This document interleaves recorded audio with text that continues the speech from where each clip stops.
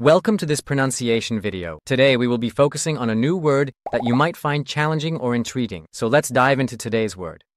Полицейским, which means, Police in Russian. let's say it all together. Полицейским.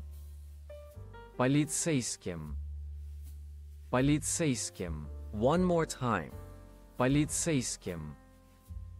Полицейским. Полицейским.